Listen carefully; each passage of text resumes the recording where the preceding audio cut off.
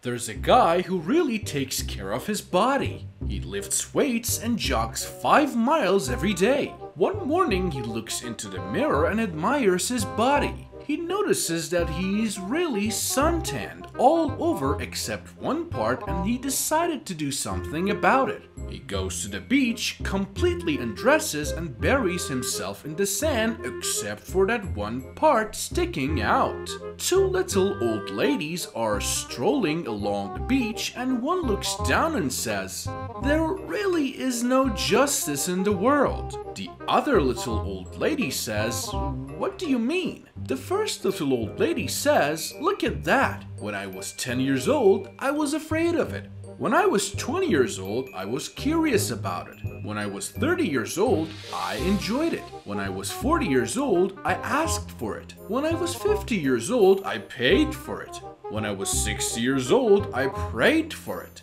When I was 70 years old, I forgot about it. And now that I'm 80, the damn things are growing wild.